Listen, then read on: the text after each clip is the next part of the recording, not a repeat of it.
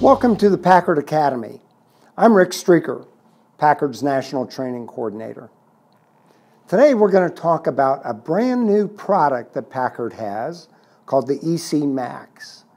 The EC Max is a constant torque electronically commutated motor that can be used to replace OEM constant torque motors, but in addition to that, the very same EC Max can be used to replace PSC motors.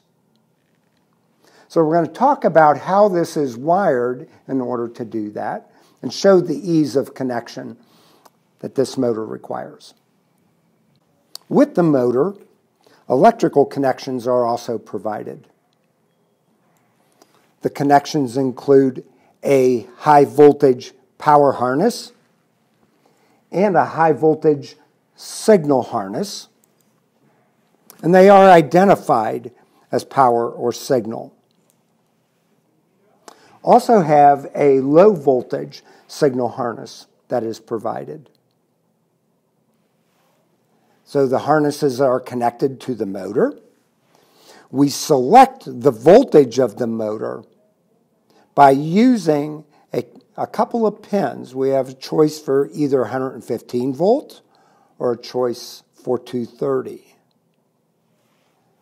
The motor, as it comes in, is set for 230. The yellow plug would go into the motor if I want 230. There are no conductors in that. It's filling space and protecting that nothing gets in to the ports on that plug. We're going to connect this particular motor for 115 volts.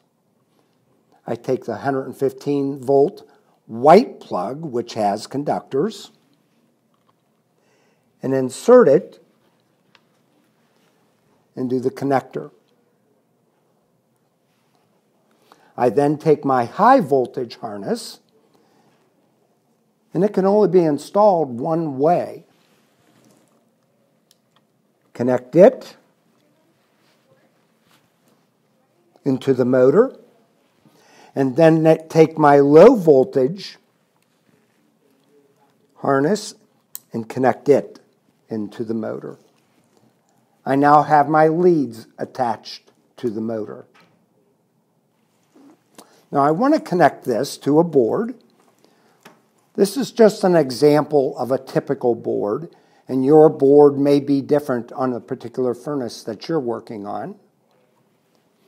On this particular board, I attach my black, since I have this as 115 volts, and I'm going to be assuming I'm replacing a PSC motor in this case. I attach my black to L1. I attach white to L2 or neutral.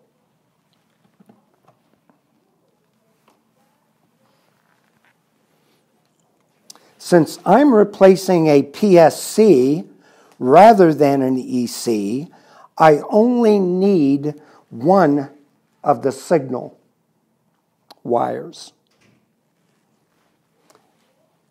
Since this is replacing a PSC, I will use the black signal wire.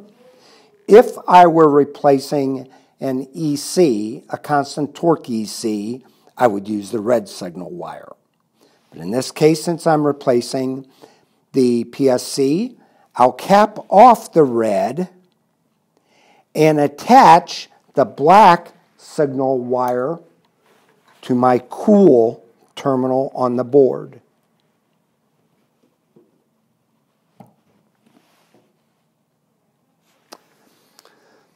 The EC Max also has jumpers that can be used to continue my circuit on the high voltage, I take one of the red jumpers and I attach it to cool.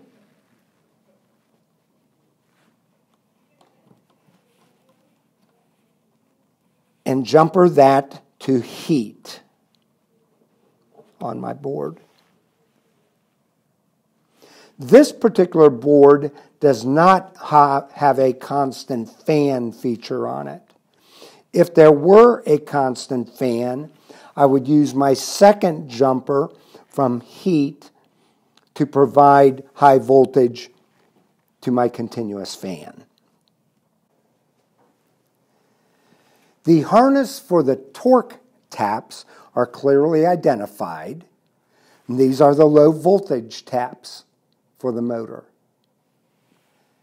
The taps are color coded. Blue is the low voltage common. Yellow is high torque. Orange, medium high torque. Brown, medium low torque. And white, low torque. These are torques, but the torques vary. A lot of people think of these as speed taps. The result is a speed, but if I have a set load on this motor and I have four different taps that are applying four different torques to that load, then I would see that that load would turn at varying speeds as I would use the different torque taps. The blue, the 24 volt common, is attached to the terminal block at 24 volt common. The high, or yellow, is attached to my cool demand, cooling demand, which is Y.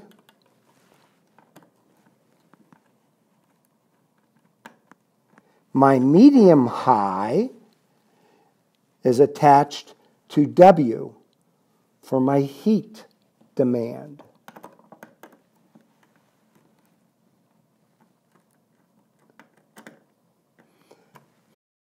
Now, in our example, we'll cap off the brown and white lead. However, the technician could choose to use brown and white if they would like different speeds than what they receive using the orange and yellow. So any of the four leads, the torque leads, could be used in combination in order to customize the output that the technician would like for that particular furnace or air handler. When attaching the belly band or mounting bracket to the motor, the belly band should be located on the lamination stack which would be above the lamination notches in the shell, and that will provide good, strong support to that belly band on the shell of the motor. It should not cover any of the vent holes on the motor, which would prevent from air circulating properly through that motor. The connector, when the motor is mounted, should be as close to the down position as possible, and the leads going to the connector should have a drip loop, a small loop, which, if moisture, condensation, were to roll down the leads of the motor, would not go back uphill into the connector. The motor is now connected to the board, installed in the furnace, and the very first time that the motor is powered up, the motor is designed to seek its rotation. That is, it will operate in one rotation and stop. It then goes the opposite rotation and stops.